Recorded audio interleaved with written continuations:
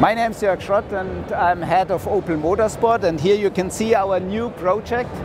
This is called Astra TCR. This is our new racing touring car which we developed for TCR Racing Series. And with this car we will start in the 2016 season in the international TCR and also in various national TCR championships. TCR is a very clever concept from my point of view. You know, it's touring car racing with really interesting racing cars, but still very close to the series production cars. It's um, high-level motorsports on the one hand. On the other hand, you know, it's still affordable, still affordable motorsport and still affordable racing. So, cost for the car is 95,000 euros.